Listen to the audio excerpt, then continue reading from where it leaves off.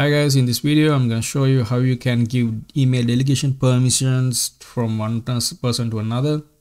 So in this case I have given Jessica Watson's email permissions to myself. So if I open my Outlook I can see her email address appearing on the bottom and I can manage emails, send emails depending on the permissions. So where you give the permissions is in the admin portal so I'll show you the online version as well a little bit after I show you how you add, add, add permissions. So if I go to admin portal uh, active users then that to that person address then on the right hand side I get these options. So I go to mail then I get the oh, three these three options over here read manage permissions. If I give only read manage permissions it will show that person's email address under my outlook but I can't send any emails but you can manage them. And if I want to give get the access to her email address full access sending emails and viewing and everything so I give all these three permissions. So how you add any permissions uh, add any person under this permission is on click on that add permissions and select the relevant user. If you can't see it here if you have whole list you can search and press add. Then it will be added to that list um, you do all, to all these three if you're gonna give full permissions and what I re recommend is you wait for a few minutes and then after that it'll appear in here in your outlook. And if you want to send behalf of that person you go to new email then you need to have the from option from here. So you go to options then from here select from on the drop down if you can't see that you you won't be able to see that person's email address over here. So you go to other email addresses and type in i have copied it to my clipboard press ok. So i have that person's email here. I'm sending it to kevin smith. Uh,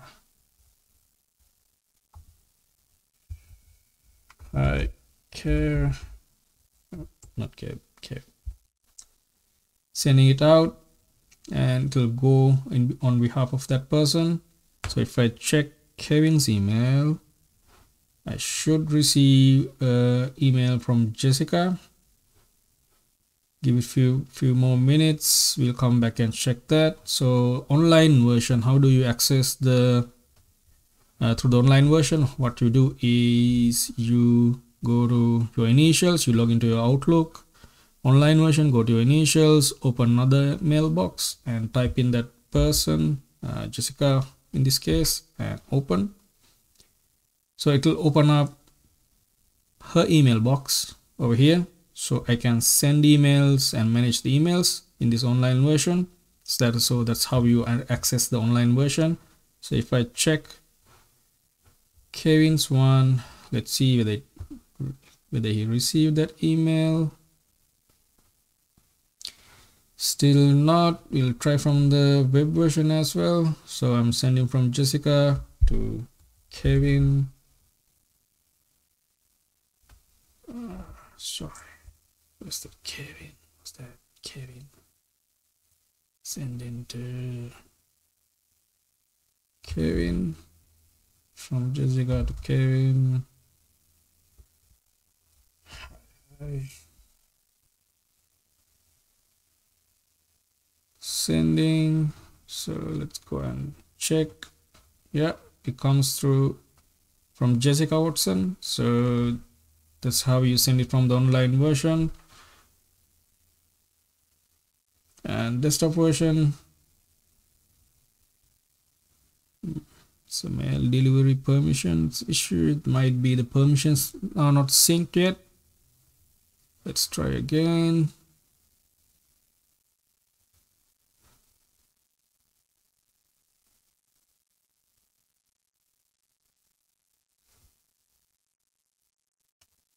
go to Jessica's new email sending from Jessica to I think I have this Kevin Smith. Hi Kevin. Send